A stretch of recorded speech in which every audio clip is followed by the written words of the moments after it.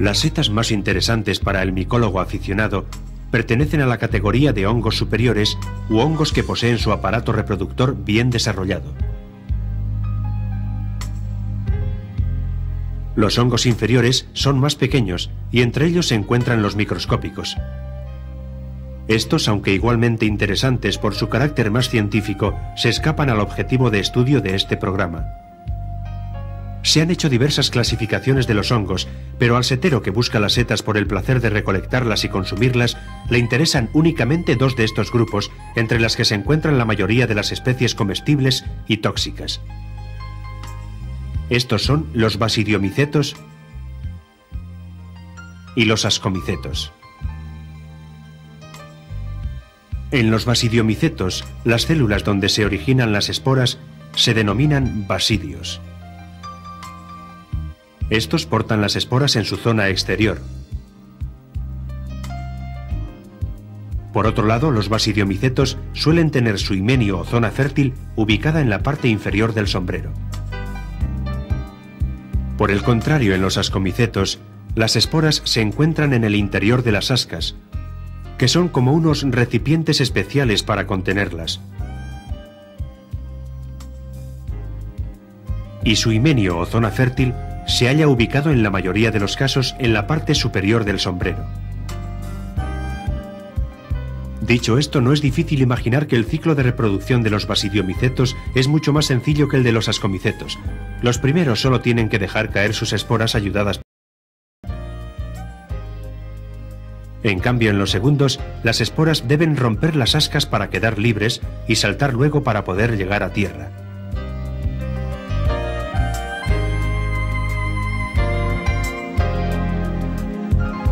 Hoy en día existen aún más especies de ascomicetos que de basidiomicetos. Sin embargo, la evolución de las especies tiende y tenderá a invertir las proporciones. Las setas pueden tener las formas más diversas, pero la más frecuente y conocida es la que recuerda a la de un paraguas abierto. En la mayoría de ellas se distinguen dos zonas bien diferenciadas, el sombrero y el pie. En el sombrero de una seta se pueden estudiar diversos caracteres como su tamaño y su forma, los bordes, la carne y el himenio o lugar fértil de la seta. Las formas del sombrero de una seta pueden ser muy diversas. La cónica, la acampanada, la abombada y la ciatiforme o forma de copa son las más comunes. Si el sombrero es irregular, puede tener en su zona central un saliente redondeado llamado mamelón o una depresión o hendidura en forma de ombligo. El margen del sombrero es su borde externo, y en él se pueden observar diversas características diferenciadoras de las distintas especies. El espesor, el perfil, la forma y si está o no estriado. Esta última característica nos dará una pista muy interesante para distinguir las especies del mismo género. Otra de las partes más interesantes del sombrero es la cutícula o piel. La cutícula está compuesta por una o varias capas y su misión principal es la de protegerlo de la lluvia. Su característica principal es la coloración, pudiendo distinguirse hasta 50 tonos de cutículas diferentes. La carne del sombrero es lo más apetecido por seteros y gourmets. Esta puede ser compacta, blanda o esponjosa según su consistencia. Y su coloración suele ser blanquecina o amarillenta. Si bien en ocasiones, al contacto con el aire, suele tomar tintes azules, verdes, rojizos, marrones o negros. Algunas especies, como las lactarias, desprenden como un jugo o látex del sombrero, se dice que tiene latescencia. Los olores y sabores de la carne son muy variados y caracterizan bien a cada especie. Los himenios o verdaderos aparatos reproductores de una seta son de diversos tipos. Sepamos cuáles son. Una gran mayoría de los basidiomicetos tienen unas láminas o tabiques verticales en su sombrero. En ellas se encuentra el himenio con las esporas. Su colorido suele ser blanquecino o amarillento, pero también hay láminas rosadas, purpúreas, ocres y negruzcas, entre otras, al igual que ocurre en las esporas. Las láminas presentan mil y una formas diferentes y pueden clasificarse o estudiarse en función de su longitud, su anchura y su perfil. Su posición respecto al pie es muy interesante a la hora de catalogarlas. Así se llaman láminas adherentes cuando tienen contacto con el pie. Láminas escotadas cuando la lámina presenta un entrante o dientecillo justo al lado del pie. Láminas libres si están próximas al pie pero no lo tocan. Y por último, las láminas decurrentes son las que descienden a lo largo del pie.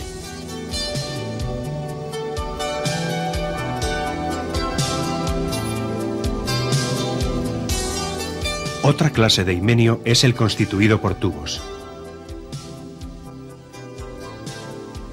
Las terminaciones externas de estos se denominan poros.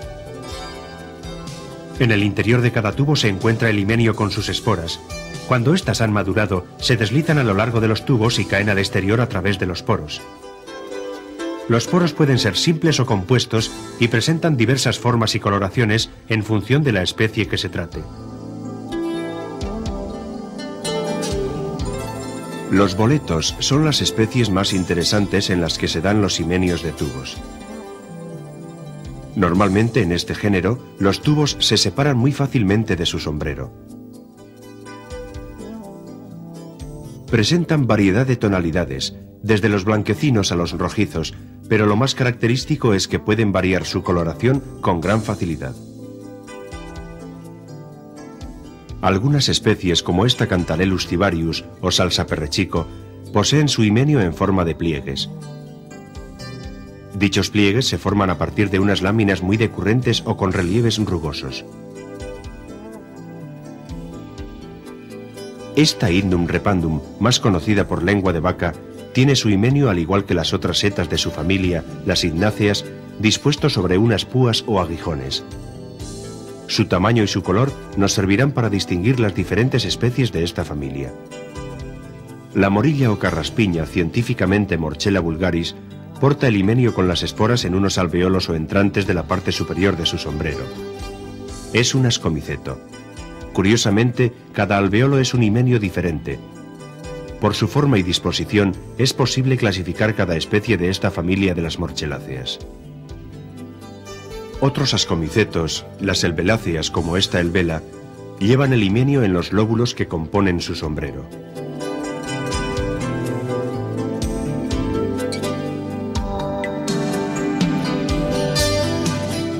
Existen por último algunas especies cuyo himenio se encuentra encerrado dentro de su sombrero. Son los conocidos licoperdones o pedos de lobo. Y las trufas, tan codiciadas en la gastronomía.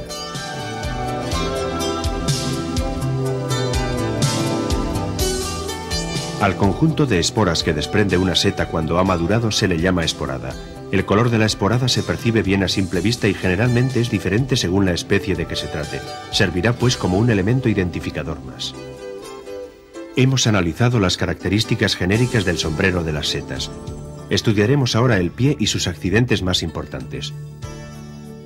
Se llama pie de la seta a la parte de aquella que en su zona superior sostiene al sombrero, y en la inferior la conecta con el micelio o región vegetativa del hongo.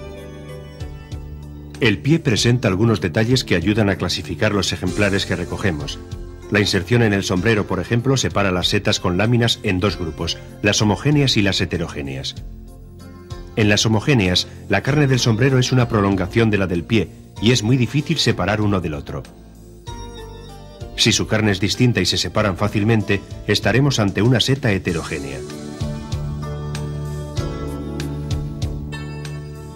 Amanitas, saliotas y lepiotas son hermosos ejemplares de setas heterogéneas.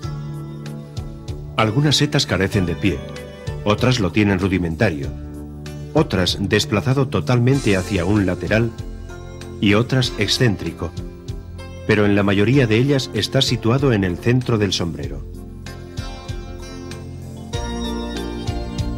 Su longitud y su forma definen multitud de tipos distintos. Su consistencia, frágil, fibrosa, granulosa, esponjosa y elástica, entre otras, y su parte externa o superficie, dura, espesa, lisa, rugosa, fibrilosa o zonada, también son unos parámetros muy interesantes para clasificarlos. Normalmente el pie de una seta es seco. Si bien en ocasiones puede ser viscoso, como en algunos hongos Hygrophorus y Cortinarius. En otros se producen como unas pequeñas lagrimillas que provienen de las láminas o de los tubos y dejan en el pie como unos gránulos de diferente color en función de la especie que se trate. El pie por sí solo no nos da una información demasiado interesante para clasificar una seta, sin embargo este, dependiendo de la especie que se trate, puede tener unas formaciones o accidentes que son sustanciales para la distinción entre las especies tóxicas de las que no lo son. Veamos cuáles son esos accidentes. La volva o resto del velo total de una seta es como una especie de copa o capucha que cubre la base del pie en la zona que éste toca la tierra, como en las amanitas y las volvarias, es vital comprobar si existe o no ya que este accidente del pie está presente en varias especies tóxicas y en tres de las especies mortales que se dan en Europa, las amanitas faloides, virosa y berna del género de las amanitas.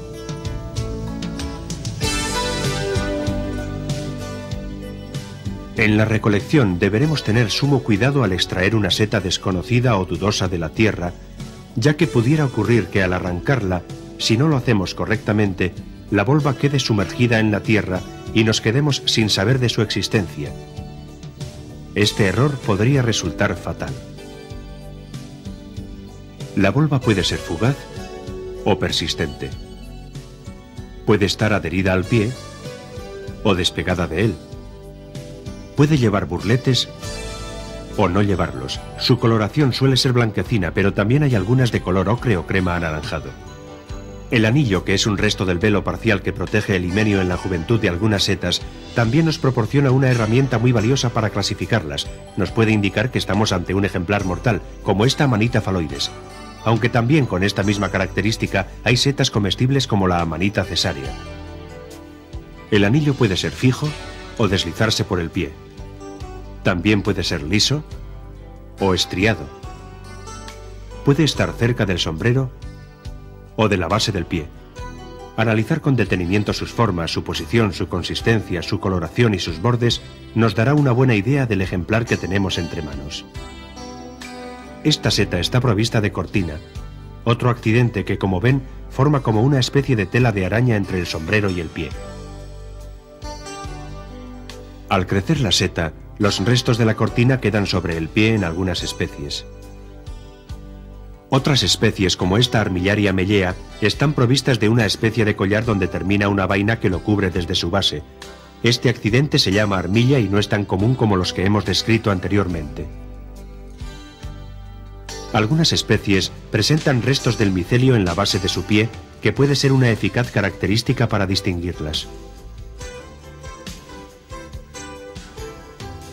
A través de este capítulo hemos podido acercarnos un poco más al conocimiento e identificación de las características definitorias internas y externas más importantes de las setas.